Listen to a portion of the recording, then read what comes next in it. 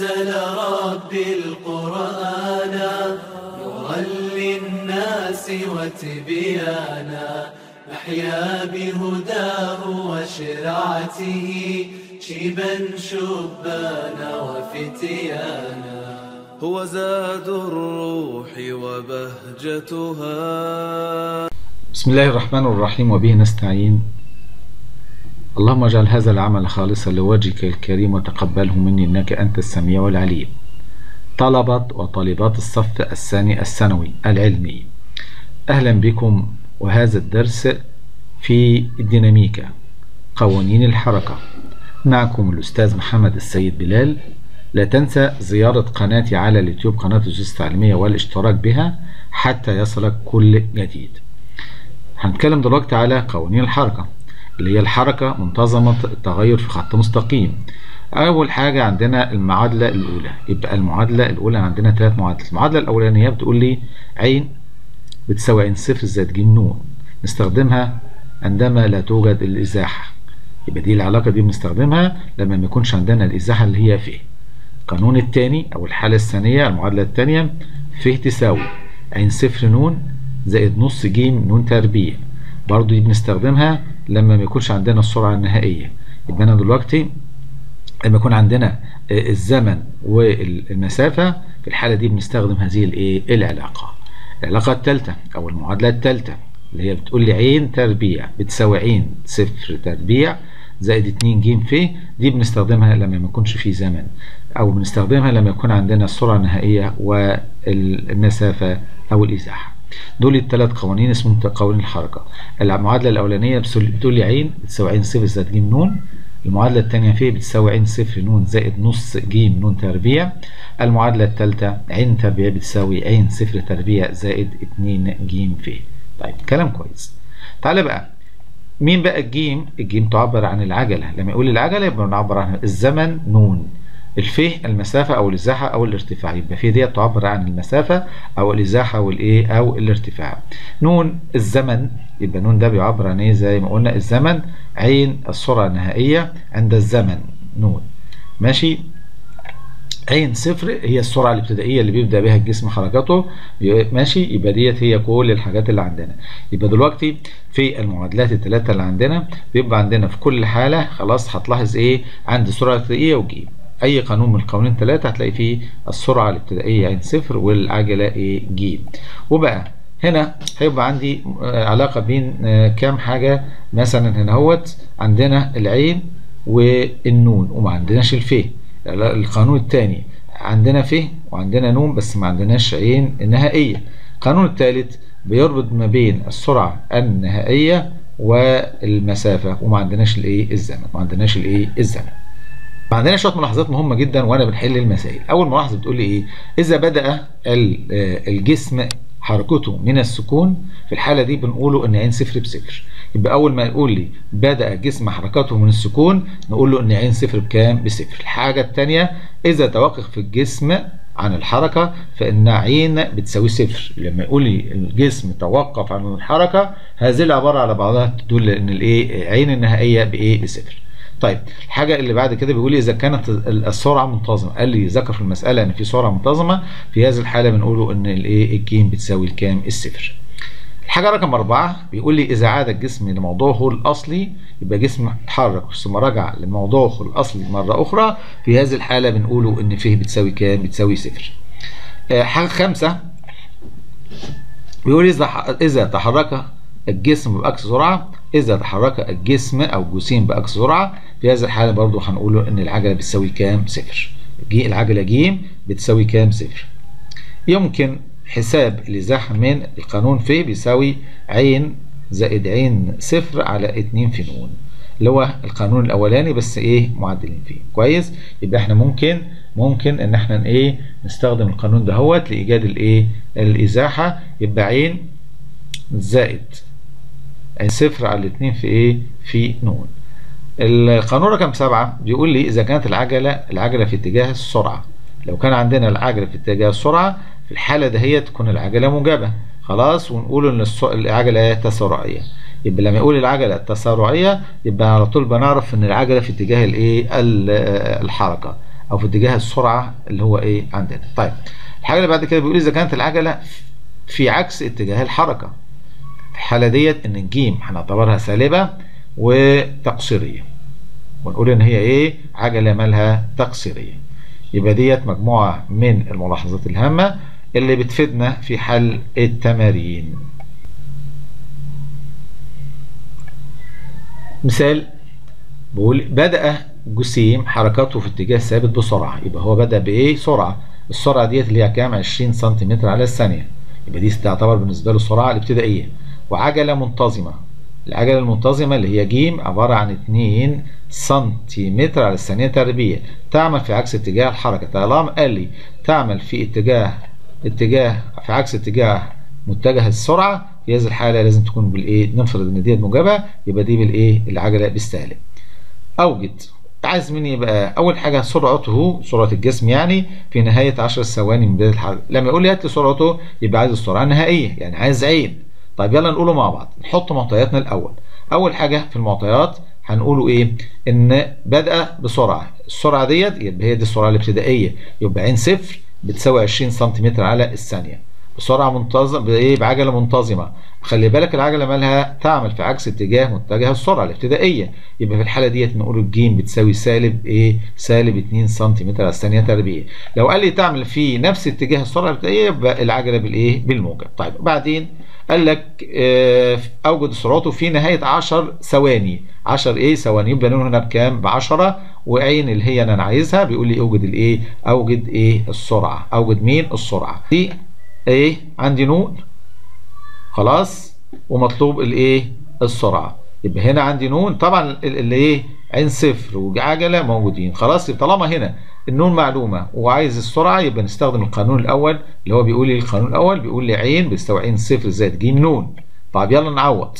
عين صفر 20 زائد آه ناقص 2 في الايه النون بكام؟ نون بكام؟ هنا بإيه؟ ب 10 عوض يديني في النهاية بكام؟ بصفر. يبقى الناتج هنا هيطلع لي بكام هنا؟ بصفر. يبقى هي نفس المسألة بس هنا بس بيطلب مني بقى إيه؟ عايز الزمن اللازم حتى تصبح سرعته سرعته كام؟ 3 و6 من 10 كيلو متر على الساعة. في عكس اتجاه الذي بدأ به حركته. كويس؟ طيب هنا طبعا أعطيني إيه؟ أعطينا السرعة بالكيلومتر على الساعة. وهنا السرعة اللي فوق ديت بالسنتيمتر على الثانية. فأنا لازم نحول اللي هي السرعة اللي هي ديت من كيلو متر على الساعة إلى سنتيمتر على الثانية طب نعمل إيه؟ نقوله برضو نفس الحكاية إن عندي سرعة ابتدائية زي ما هي 20 سنتيمتر على الثانية طيب السرعة أطالب 3 و6 من 10 كيلو متر على الساعة طب بنعمل إيه؟ بنقوله إيه؟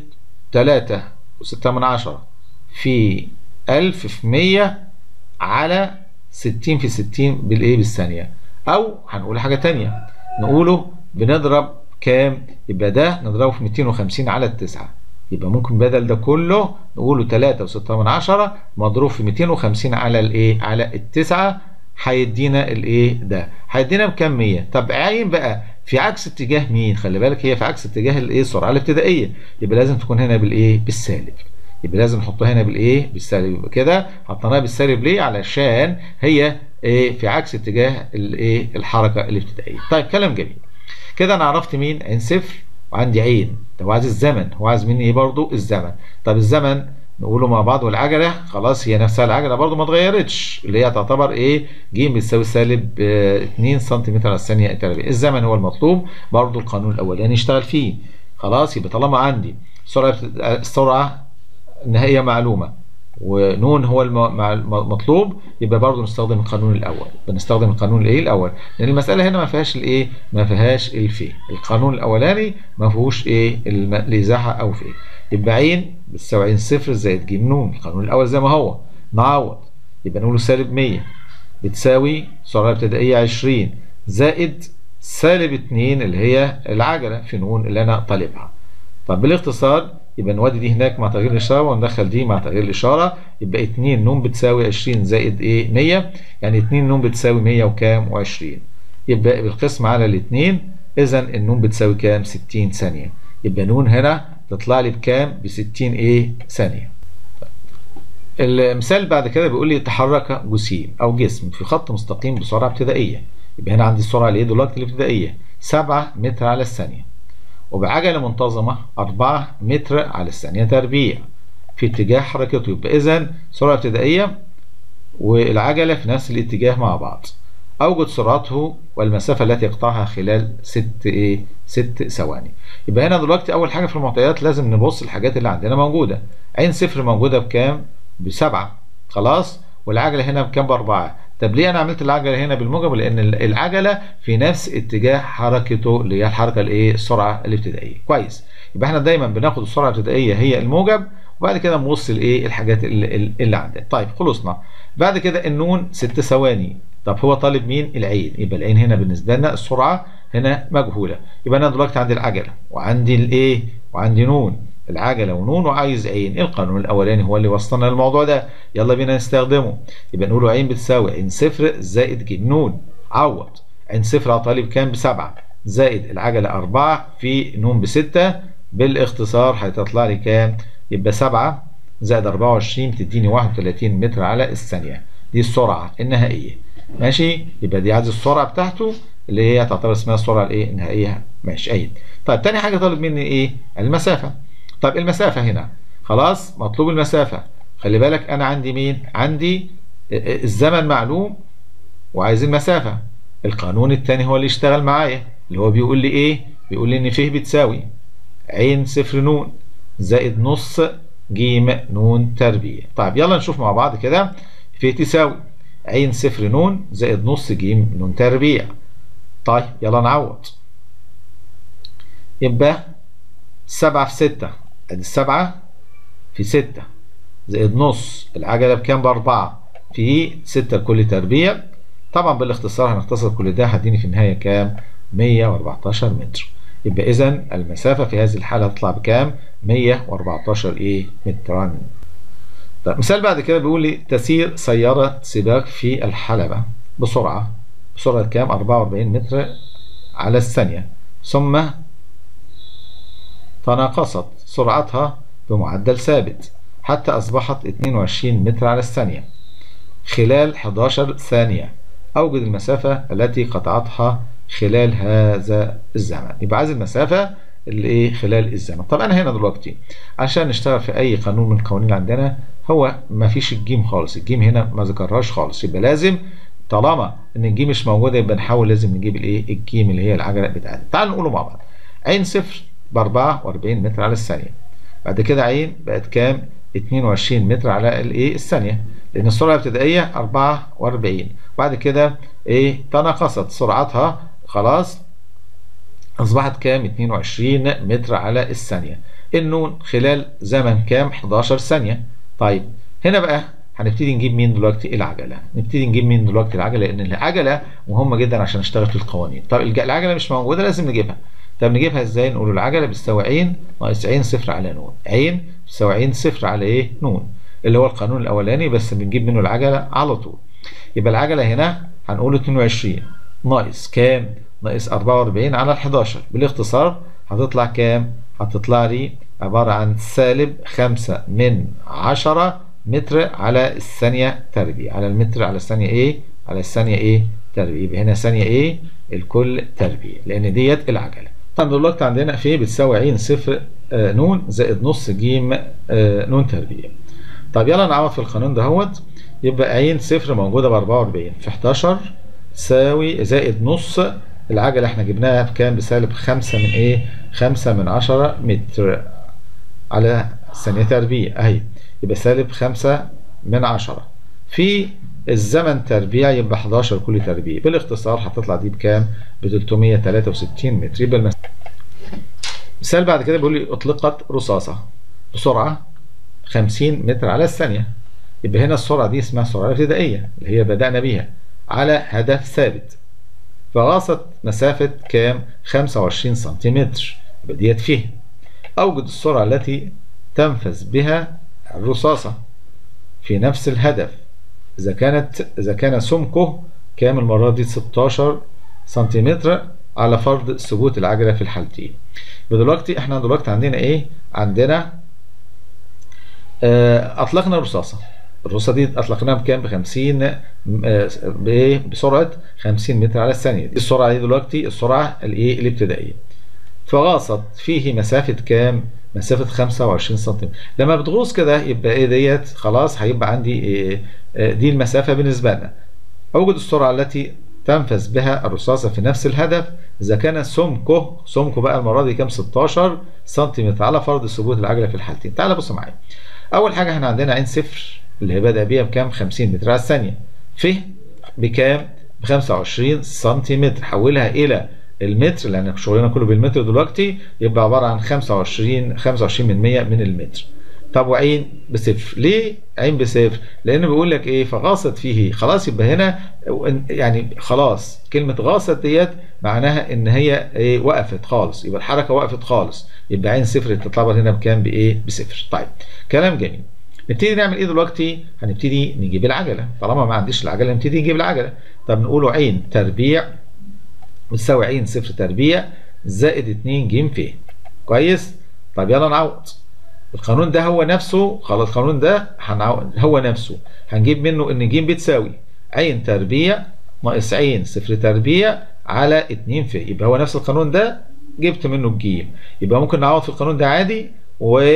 وبعد كده نجيب منه إيه, إيه الجيم أو نستخدم هو نفس القانون بس بالصورة ديت ونجيم يبقى جيم هنا ممكن نقولها على طول عين تربيع ناقص عين صفر تربيع على 2 ف طب عوض عين تربيع يبقى عين بكام؟ بصفر يبقى صفر.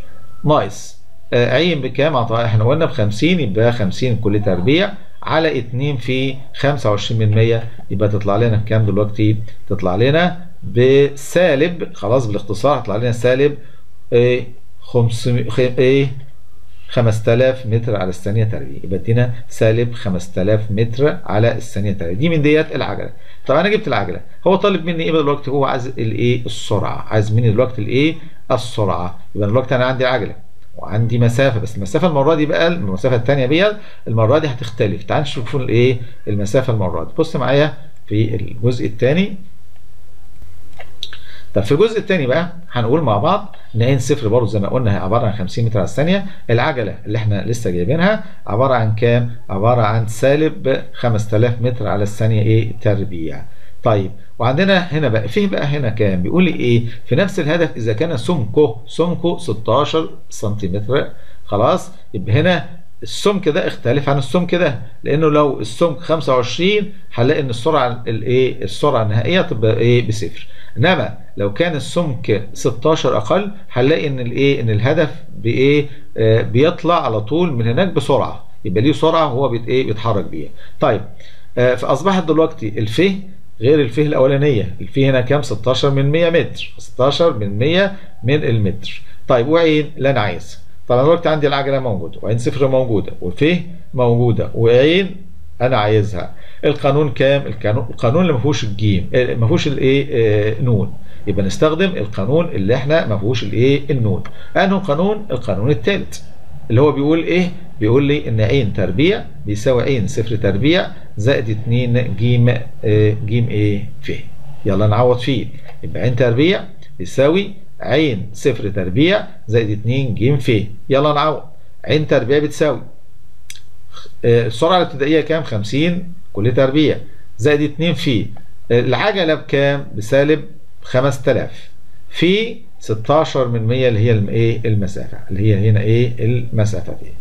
يلا نعوض. يبقى عين هنا عين تربيع بتطلع ب 900 بالاختصار 900 هات الجذر التربيعي يبقى عين هتطلع بكام؟ ب 30 متر على الثانية. يبقى كده أنا عرفت دلوقتي مين؟ السرعة اللي هو إيه؟ نفذ بيها نفذت بيها الإيه؟ الرصاصة. نفذت بيها الإيه؟ الرصاصة.